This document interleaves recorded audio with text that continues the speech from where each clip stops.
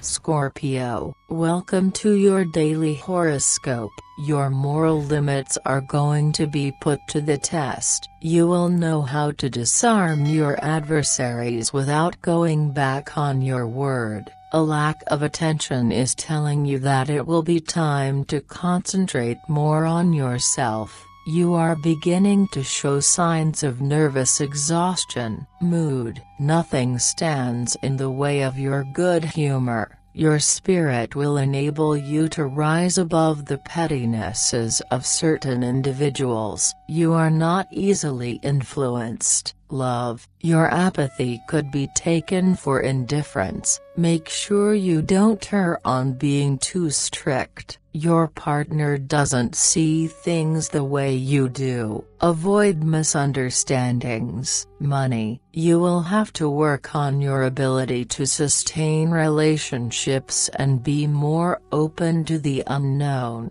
Do this without regrets. Work You're going to put your current caseloads into order. You will continue your efforts constructively. Have a nice day Scorpio. See you tomorrow.